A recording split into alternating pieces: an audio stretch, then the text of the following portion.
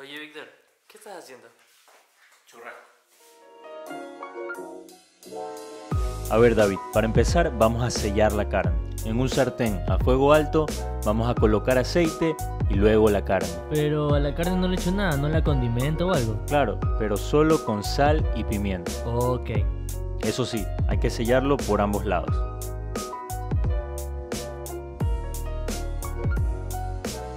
Una vez listos, los retiramos y vamos a aprovechar todo el sabor que dejaron. En el mismo sartén agregamos achiote y vamos a saltear unas cebollas para así crear la base de este plato. Oye, saltear es cuando. ¡Uy, ese man! ¡Vacancísimo! A ver, a ver, concéntrate. Aún no terminamos. Agregamos tomates, pasta de ajo y cilantro. Vamos a incorporar todo muy bien. Agregamos pasta de tomate y para que todos los ingredientes se integren vamos a agregar un poco de agua. Oye, Víctor, ¿y qué tiempo más o menos tengo que dejar cocinando esto? Aproximadamente de 3 a 5 minutos. Pero no te preocupes, esto va agarrando consistencia. Más o menos te queda algo así. Chuta, ahí cambia la cosa, pues. Condimentamos con un poco de sal y comino.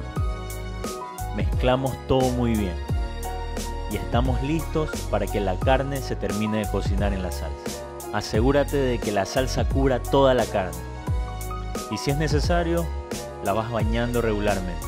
Así como que. como que la jugueteo. Exactamente. Y agregamos cilantro. Para aportar algo crocante, vamos a saltear unos vegetales. En el sartén vamos a poner un poco de mantequilla. Agregamos cebolla y pimiento de colores, verde y rojo.